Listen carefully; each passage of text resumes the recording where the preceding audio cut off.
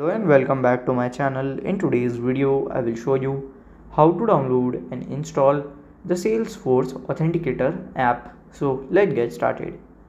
So here have to go, open your Google Play Store. If you are an iOS user, then you have to open your Apple Store.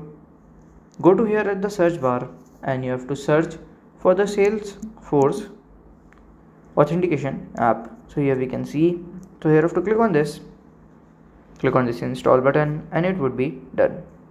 So this is how to download and install the salesforce authenticator app. And if you find this video helpful make sure you like subscribe and share the video. Thank you for your watching